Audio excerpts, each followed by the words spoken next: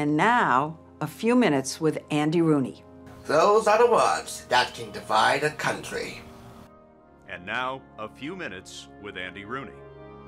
Within that introduction lies a man who many consider to be the original sage thrower. And now, a few minutes with Andy Rooney. A man who tells it like it is and has almost defined the very way of telling it like it is for decades. And now, a few minutes with Andy Rooney.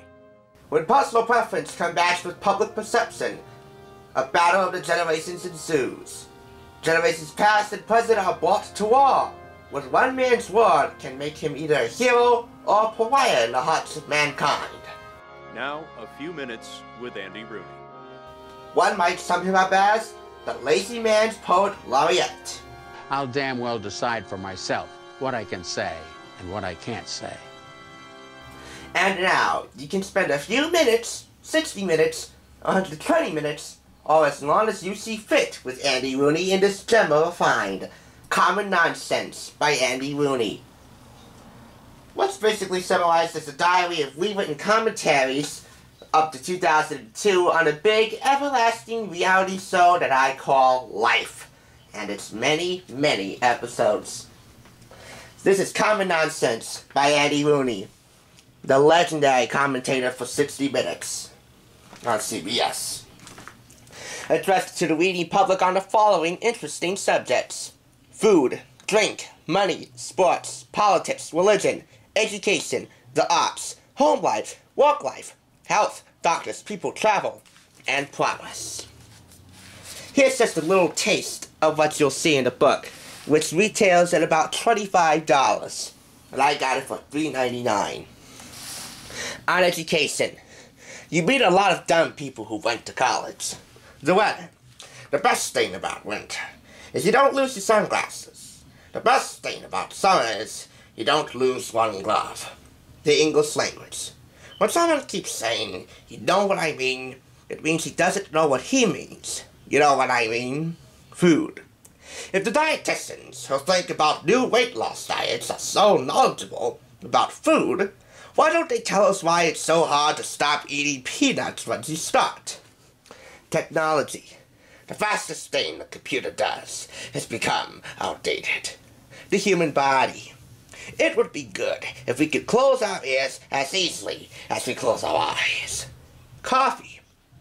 Someone sent us a box with five bags of assorted coffee flavors. They were almond, cinnamon, hazelnut, French vanilla, and amaretto.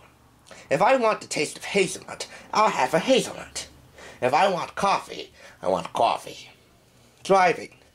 The drivers of trucks that have signs on them saying call this number if the driver is discourteous are usually driving too fast for you to see the number.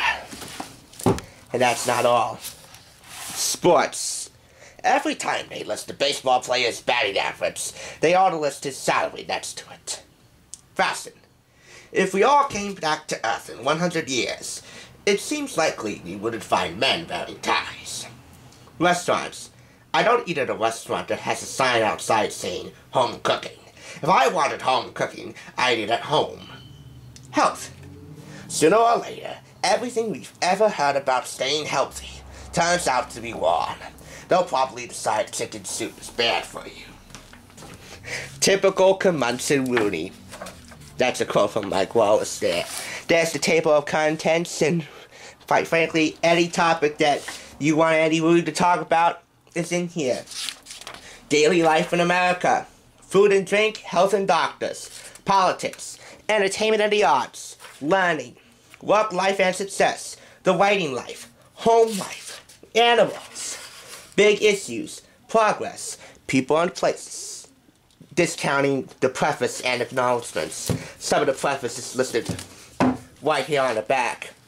I do believe that this is the one before it hit mass market.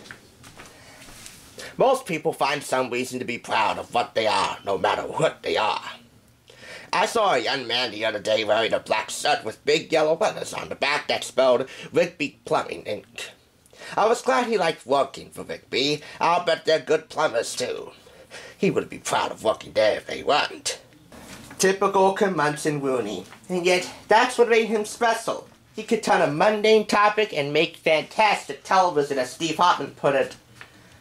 And, uh, I'm not ashamed to say that I'm actually really liking his commentaries on YouTube. You type up Andy Rooney here on YouTube, you'll find a treasure trove of 60 minutes commentaries. He did over 1,097. I can't guarantee you'll find them all, but I can guarantee you that he's had a lot of fun writing those commentaries.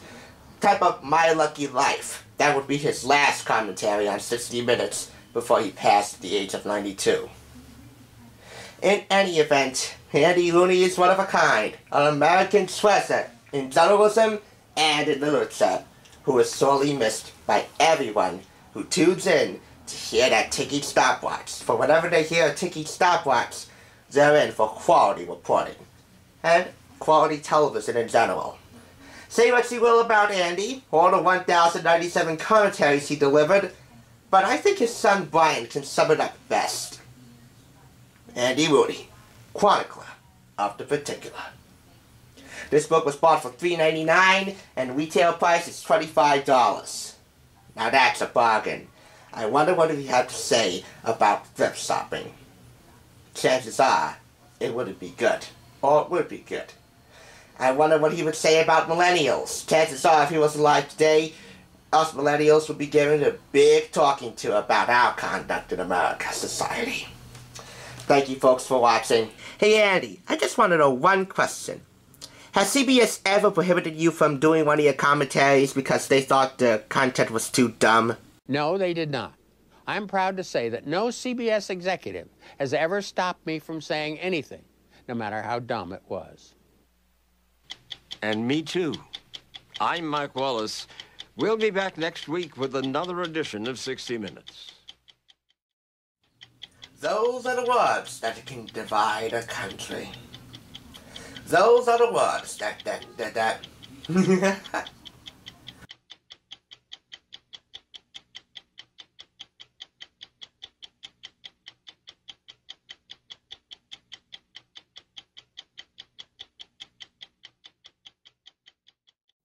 A lot of you have sent me wonderful letters and said good things to me when you meet me in the street. I wasn't always gracious about it. It's hard to accept being liked. I don't say this often, but thank you. Although, if you do see me in a restaurant, please just let me eat my dinner.